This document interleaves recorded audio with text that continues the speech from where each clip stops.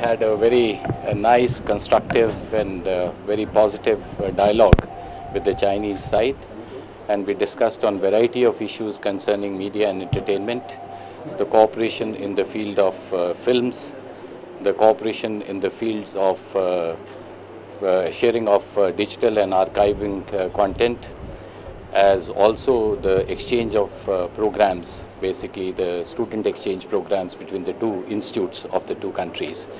So the whole uh, discussion was held in a very cordial atmosphere and we'll carry this dialogue process forward. Thank you. 呃，我们刚才双方进行了 the minister said that just now uh, he and the secretary had a very constructive, constructive dialogue and discussions on the issues which both sides are very much interested. And the minister said that the culture exchange and the culture uh, promotion is very important to the bilateral ties of India and China. And uh, both sides should work together closely for the common objective.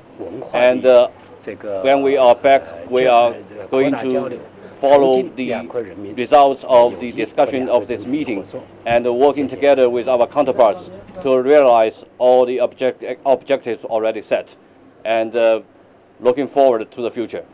Thank you.